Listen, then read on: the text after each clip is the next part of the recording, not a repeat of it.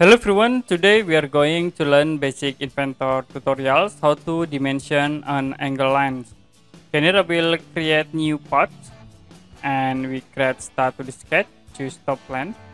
Now as example I will draw lines in here. If you want to create dimensions in this an angle line, you can use these dimension tools. Click from this line objects and click in it. So to be create for dimension angular. Double click and you can set like into 35 degrees. So we can connect again between these two lines. If you done click finish sketch and we can use extrude tools to convert into 3d to create angles in drawings so i will move uh, this part into drawings. Click file. New and then set drawing. We're waiting to open for drawings window.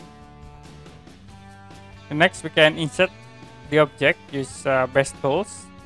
Click ok. I will set first this part. And then i will insert at this point. To the top.